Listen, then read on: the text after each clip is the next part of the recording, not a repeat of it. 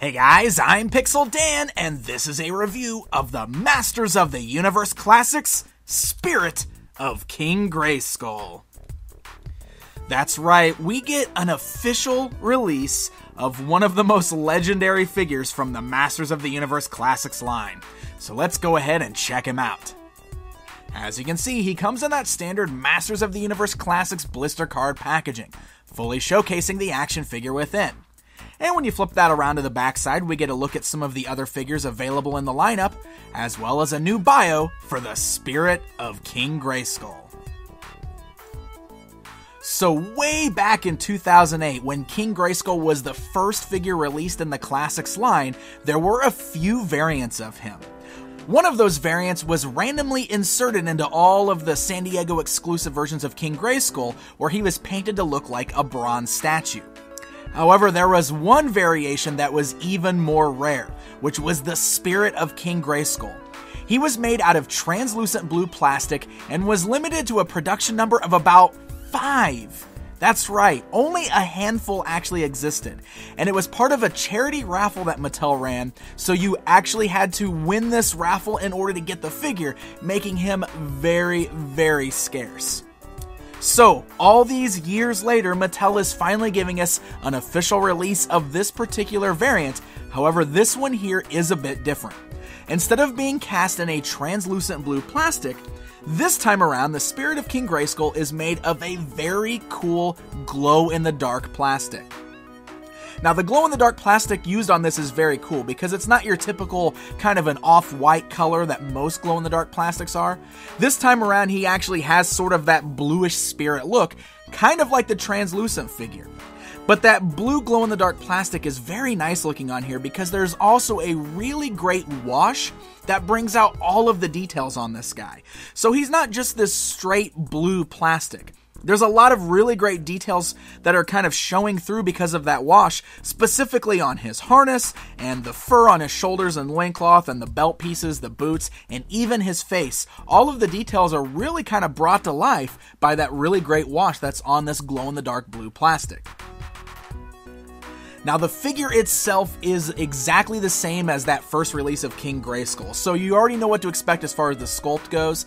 And just like that first release, the cape is non removable from this particular figure. It is permanently attached to the armor that the figure is wearing. All right, my friends, let's take a closer look at the spirit of King Grayskull. So if you have King Grayskull already, you probably know what to expect with this guy. So let's go and take a look anyway. The head can turn left and right and bob up and down, but the hair goes behind the cape. That does hinder the movement just a little bit, as you can see.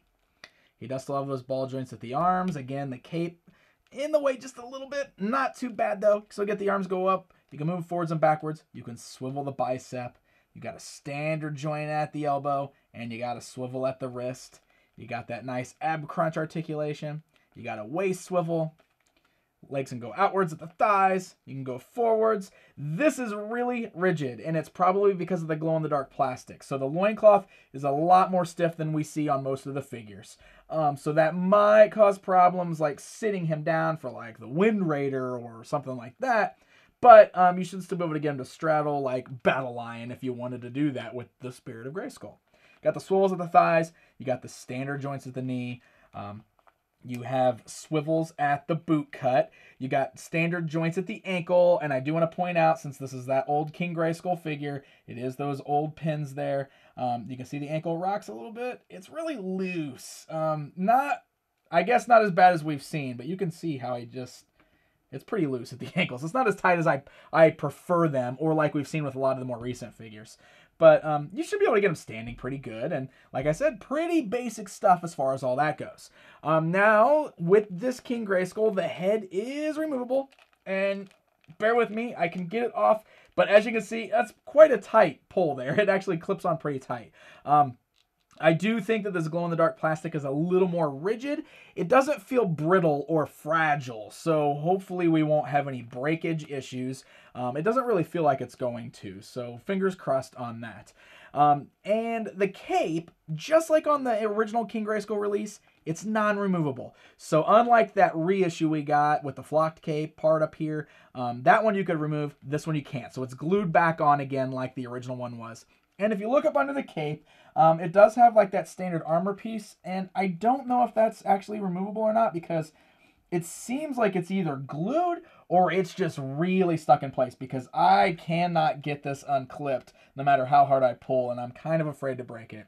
Um, so I'm not actually going to be removing that anyway, but it's definitely something I wanted to worth. I felt like it was worth mentioning. I wanted to point it out to you guys, um, just in case you did plan to remove that armor from there. It might take just a little bit of work, but the cape is definitely glued to the armor. You can't take it off of this version of King Grayskull. So for weapons, the Spirit of King Grayskull comes with that same He-Man power sword, shield, and axe that we saw with the original King Grayskull as well as He-Man himself. But of course, just like the action figure, they're done in that very cool blue glow-in-the-dark plastic. However, they also still kind of have that little wash thing going on, so they're a little two toned in their colors. They look very nice. They all function just like we've all known them to in all the past figures, so so that shield can be clipped to his wrist and he can hold on very nicely to the sword and the axe with either one of his hands.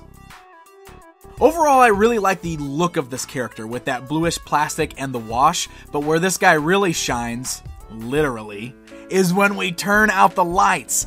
The glow feature on this figure is incredible. You can see just how bright he glows, but even in that glowing hue, you can still really make out all of those details thanks to the wash on there. He looks pretty incredible in this fashion, and it's always great adding another glow in the dark figure to the shelf. So there you have it, my friends. There is a look at the Spirit of King Grayskull figure from the Masters of the Universe Classics line. So this is the 2015 chase figure. Very similar to what we saw with the Spirit of Hordak as well as Imp and Cowl. He's just going to pop up randomly throughout the year on MattyCollector.com.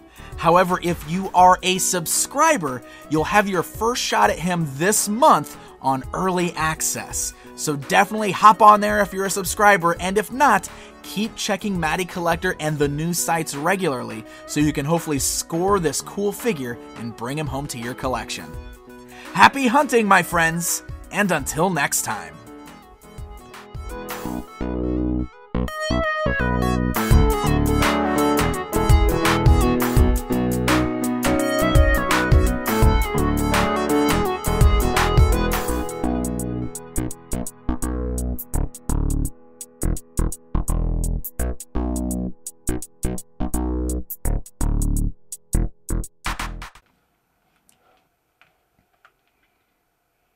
I'm ready.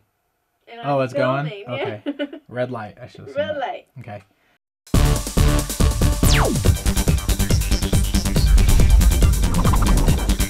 Oh.